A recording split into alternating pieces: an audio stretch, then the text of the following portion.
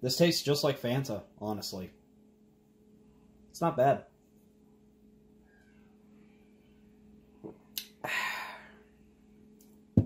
And it's not alcoholic, which is good.